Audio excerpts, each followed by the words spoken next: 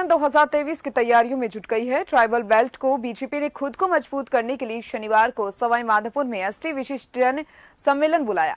सम्मेलन बीजेपी के राष्ट्रीय अध्यक्ष जेपी नड्डा ने कांग्रेस पर निशाना साधते हुए कहा, इंडियन नेशनल कांग्रेस सिर्फ़ नाम है, इंडियन नहीं है।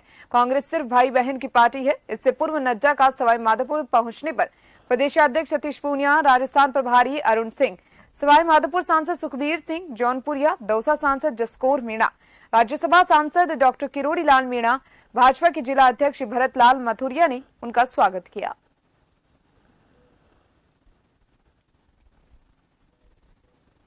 देश में एक और आंदोलन की ज़रूरत है। इसके लिए सभी तैयार रहें अपने ट्रैक्टर चोलियों को तैयार रखें। आंदोलन कब कहाँ होगा इसकी जानकारी आने वाले समय में दी जाएगी।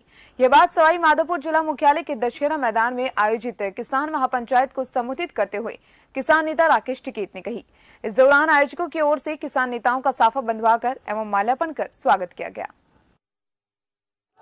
मंच पर अपना स्थान ग्रहण करें। भारत सरकार बातचीत हुई, एक समझौता हुआ, और उस समझौते के तहत ये समापन हुए। बहुत से फैसले उन्होंने मान मानने तो ये धरना भी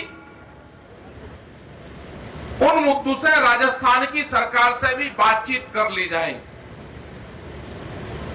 वो चाहे यहाँ के ऊपर मुकदमे दर्ज हुए हो बैंकिंग का मामला हो, जो किसानों की ज़मीन नीलाम होती हो,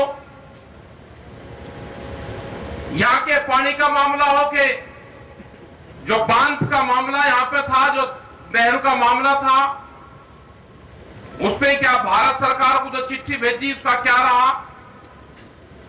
जो फ़सलों के रेट है, खरीद का सवाल है। इन सब चीज़ों से भी